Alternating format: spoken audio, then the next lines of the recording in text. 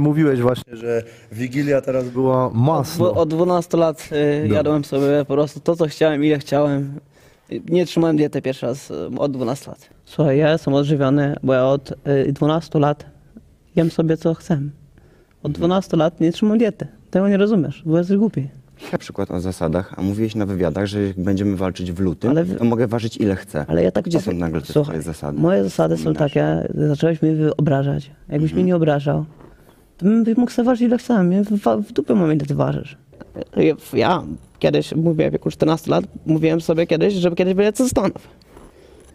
Kiedyś by mnie na to w ogóle nie było stać. Moich rodziców na pewno by nie byłoby na to stać. I nagle tam byłem. A teraz jestem tutaj, tak jak mówię. Czy kto tu będzie miał lepszą wizję? Tak jak mówię. I powiedz mi teraz pytanie do ciebie, czy będzie tak jak mówisz? Będzie.